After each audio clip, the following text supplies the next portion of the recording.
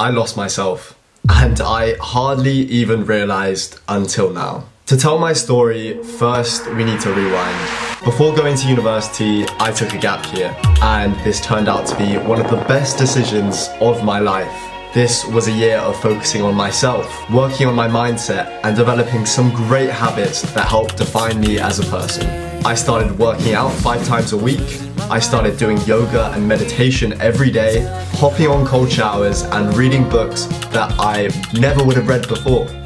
And through all this, I was changing as a person.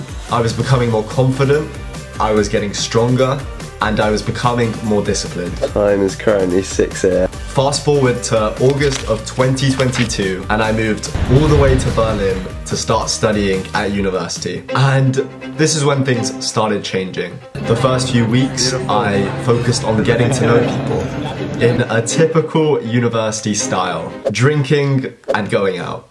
It was fun, I won't lie. End of September 2022, and I actually got into a relationship. This turned out to be the first proper relationship of my life. Nothing to see here, just me being an absolute sim.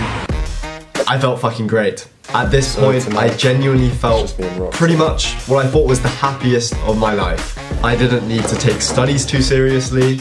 I was hanging out with friends most of the time. And I had a girlfriend to go home to.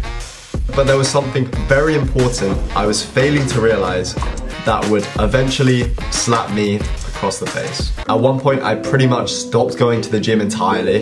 I hadn't done yoga or meditation for weeks. I hadn't even opened a book for so long.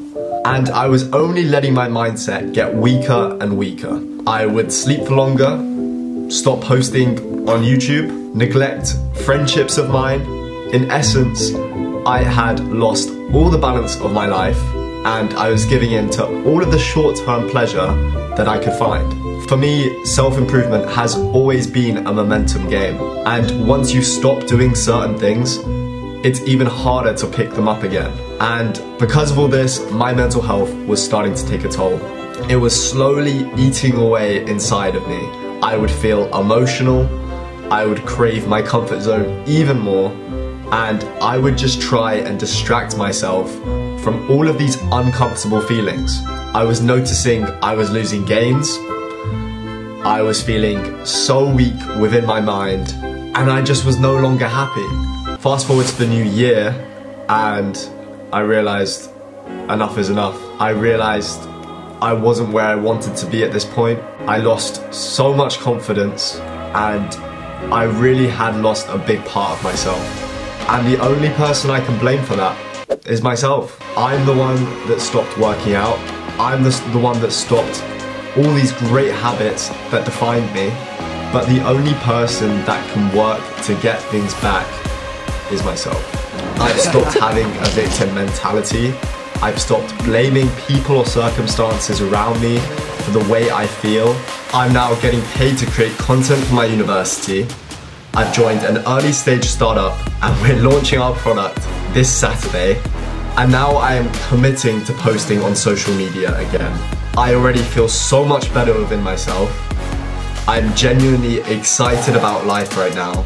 And I'm just so excited to make up for time that I really feel like I've lost. If there is a lesson in all of this, it's that habits might be the most important thing to progress you in life and to keep you on track. Your mindset is a muscle, and if you don't carry on training it, then you will lose it. And you need to consistently check within yourself if you're living a life true to yourself.